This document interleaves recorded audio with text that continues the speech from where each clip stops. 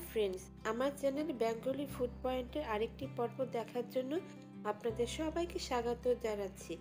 আজ আপনাদের তৈরি করে দেখাচ্ছি দাদু ঠাকুমাদের আমলের একটি পুরাতন পিঠা, মিষ্টি মেরা পিঠা।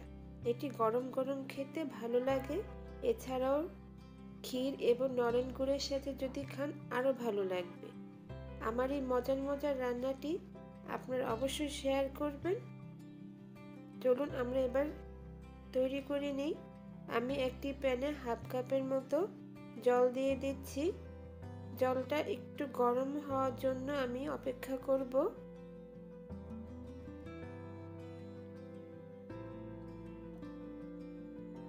আমি চুলা রাসটা মিডিয়ামে রেখেছি।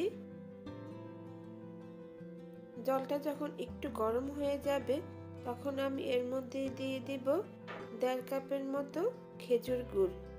আমি এখানে আস্ত খেজুর গুড় ব্যবহার করেছি। যেহেতু আমি জলে গুলিয়ে নেব, সেজন্য এটা গুঁড়া করার কোনো প্রয়োজন নেই। এমনিতেই জলে গলে যাবে।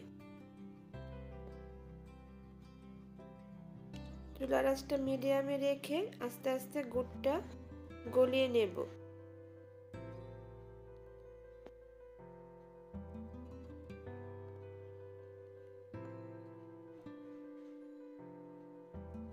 গুড়টা যখন সম্পূর্ণটা গলে যাবে, তখন আমি এর মধ্যে দিয়ে দিব সামান্য পরিমাণে লবণ। মিষ্টি যে কোনো পিঠার মধ্যে একটু লবণ দিলে এটা সামঞ্জস্য থাকে।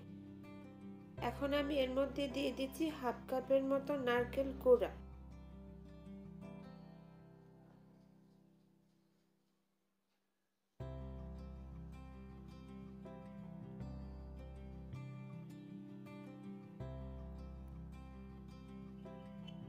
এখন আমি সব কিছু ভালো করে মিশিয়ে নেব। আমার গুড়টাও প্রায় গলে এসেছে। নারকেলটাও আমি একটু সামান্য পরিমাণে একটু সেদ্ধ করে নেব। এতে করে পিঠাটা খেতে খুব সফট লাগবে।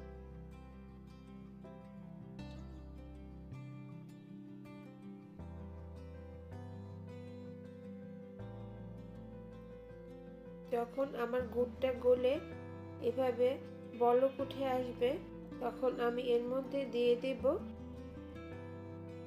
চালের গুঁড়া। আমি এখানে দেড় কাপের মতো চালের গুঁড়া নিয়েছি। আতপ চালের গুঁড়া আমি বাজার থেকে চালের গুঁড়াটা কিনে এনেছি। অল্প অল্প করে চালের গুঁড়া দেবেন আর মিশিয়ে নেবেন। একসাথে দিলে এটা জমাট বেঁধে যাবে। তার জন্য আমি অল্প অল্প করে দিচ্ছি আর মিশাচ্ছি।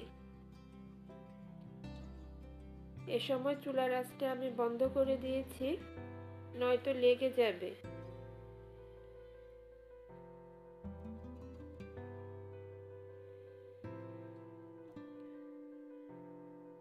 যতক্ষণ না পর্যন্ত এটা স্টিকি ভাব হয়ে আসছে ততক্ষণ আমি অল্প অল্প করে চালের গুঁড়াটা মিশিয়ে নেব।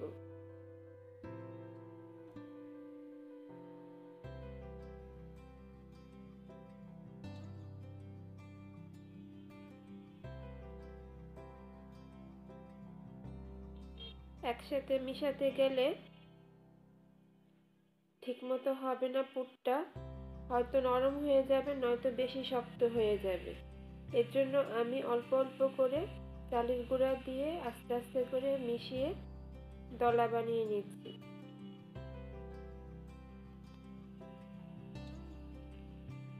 দেখুন, আমার পুরটা অনেকটা স্টিকি হয়ে এসেছে। আমি এখন এটা নামিয়ে ভালো করে ঠান্ডা করে নেব। নয়তো এটা বানাতে গেলে হাতে লেগে যাবে। আমার পুরটা পুরোটাই স্টিকি হয়ে গেছে। আমি ঠান্ডা করার পর হাতে অল্প অল্প করে নিয়ে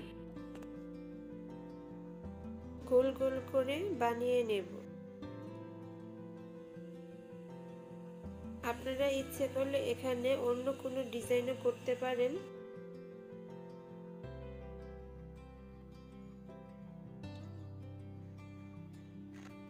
এভাবে হালকা হাতে আস্তে আস্তে আমি বলের মতন করে নিয়েছি। এভাবে আমি এবার সবগুলো বানিয়ে নেব।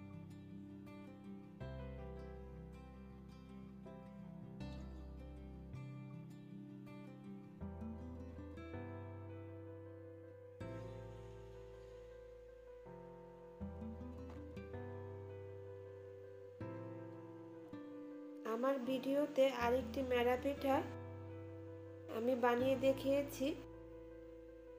নিচে ডেসক্রিপশন বক্সে লিংক দেওয়া আছে, আপনারা দেখে নিতে পারবেন। আমি এখন কড়াইতে চার কাপের মতো জল দিয়ে ভালো করে বলক তুলে নিয়েছি।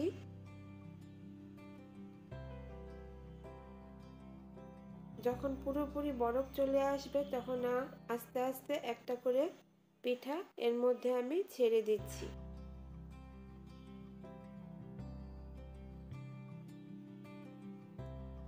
জলটা অবশ্যই ফুটন্ত হতে হবে, নয়তো পিঠা সব গলে যাবে।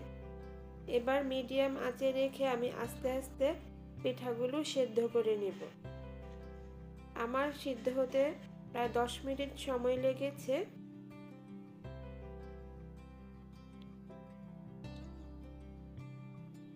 আস্তে আস্তে নাড়িয়ে দেবেন, নয়তো সব ভেঙে যাবে।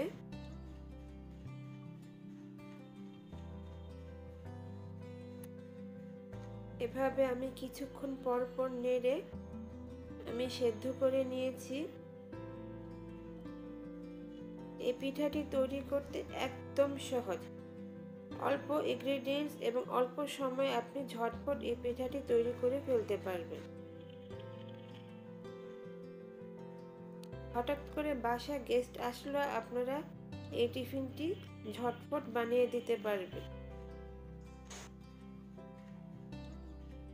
আমার পিঠাটি শক্ত হয়ে গেছে, তার মানে সেদ্ধ হয়ে গেছে। এবার আমি আস্তে আস্তে জল থেকে ছেঁকে পিঠাগুলি উঠিয়ে নিচ্ছি। তৈরি হয়ে গেছে আমার মিষ্টি ন্যাড়া পিঠা। গরম গরম খেতে এগুলি খুব ভালো লাগে। এই মজার মজার রেসিপি দেখতে হলে অবশ্যই আমার চ্যানেলে লাইক শেয়ার এবং সাবস্ক্রাইব করবেন। এবং পাশে থাকা বেল আইকন বাটনে ক্লিক করবেন। তবে অবশ্যই আমার রেসিপিটি সবার সাথে শেয়ার করবেন।